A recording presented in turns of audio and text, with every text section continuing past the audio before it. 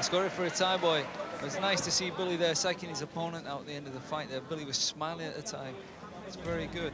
He's learning fast. It's nice. You must now stay away from those knees. It's tiring Billy out. Billy's a kickboxer. You're not under pressure for two minutes in the rounds. A Thai boxer is under pressure for every second in that fight. Master Sken just going through last minute instructions with him.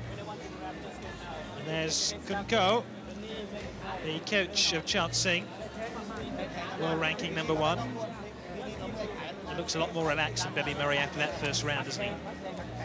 Very much so. I think Billy now has got to come after Chartsingh. Not get close to those knees, but certainly try and various shots. Punch him to the head and kick him in those legs. Incidentally, in that corner there with Billy Murray is his brother John Murray, who's also involved in kickboxing in Northern Ireland.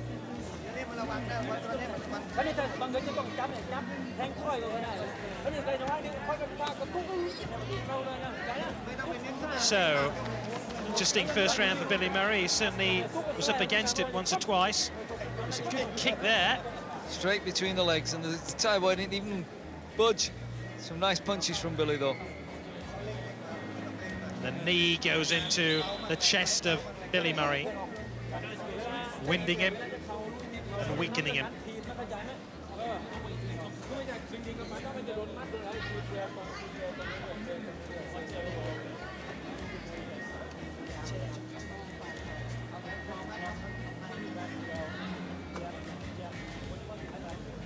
Well, Chartsingh has said he's going to knock Murray